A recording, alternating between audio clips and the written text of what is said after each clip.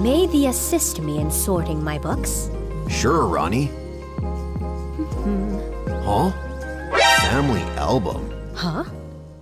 Please, don't look in that book! Too late. Oh, so that's how Rykard used to look.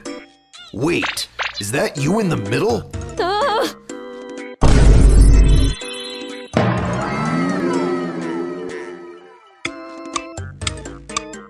Thick.